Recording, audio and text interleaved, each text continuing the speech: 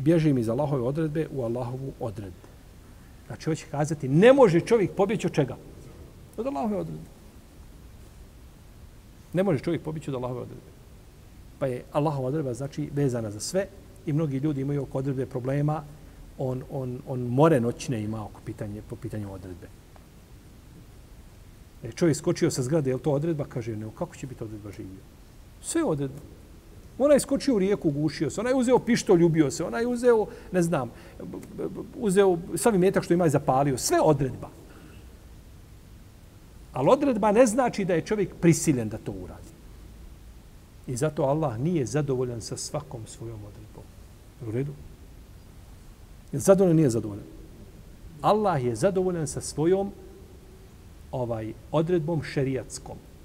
A to je ono što je objavio ljudima sa sve jednim propisom, sa svim što je uzvišeno objavio, time je zadovoljan.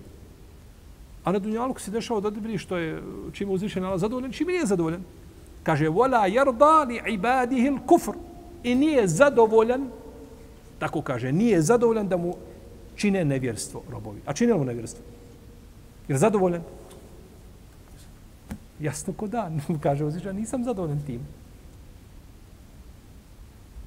Pa ne mora znaš da je sve što je Allah odredio da ti ime šta? Zadovoljno. Čovjek ubio svoje dijete. Je to odredba ili nije odredba? Hm? Šta mislite, momci? Pa jeste odredba. A je mu to dozvoljeno ili zabranjeno? Zabranjeno. Ali uzvišen je Allah odredio nešto znajući šta će on uraditi, pa je to tako zapisao. Ali mu je to strogo zabranio. Vola taktulu euladekum. Zar ne kaže uzvišenje Allah u Kur'anu?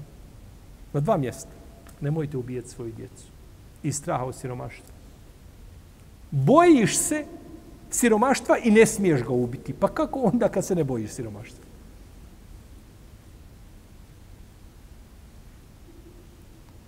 Pa je sve Allahova odredba. Ništa ne izlazi van okvira Allahove odredbe.